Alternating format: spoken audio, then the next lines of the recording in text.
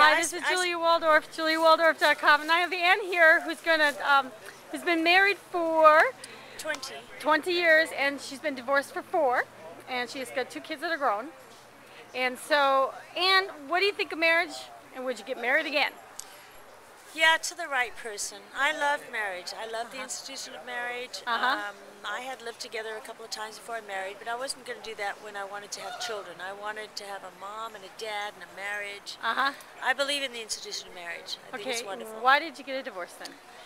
Well, you know, um, I was the one who was married and he was being single.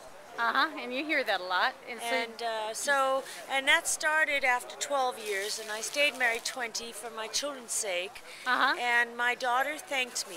Okay, Um, so it was the right I- thing to do. I believe it was the right. I, I know I would do it again. Uh-huh, I would do it again. great, yeah. I wanted to raise my children. I could Mm-hmm. be retired from my great job Mm-hmm. um, with a great pension right now, but um, I chose to be a mom, so I did daycare. I'm in my 18th year of daycare, Mm-hmm. Wow, trying wow. to get out of it now Yeah. and do something else because I Uh-huh. need adult conversation Monday through Right, Friday. yeah, okay. And I don't get any, and I'm single. Yeah. But your kids are doing great, and you're doing good. my kids are great. Um, they're up at Humboldt. They're, they're they turn out great. I would do Uh-huh. it again. I think our most important job as a, as a woman is to is to raise some good kids, and I, I gave up career to do that, and Yeah. I would do it again. Good job, girly girl. I commend you.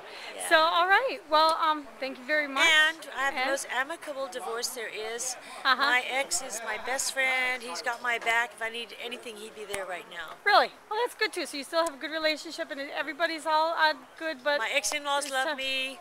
So everything's Um, good. It's all good. My kids, it's been so easy on them because their Was dad and I are really good friends. So Uh huh. And that's important. it's very important, and I, I think people should really strive for that. Put the Yeah. stuff aside Uh-huh, and, and just look at the big picture and be adults about it. Yeah.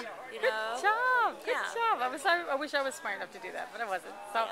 anyway, this is Julie Waldorf. JulieWaldorf.com.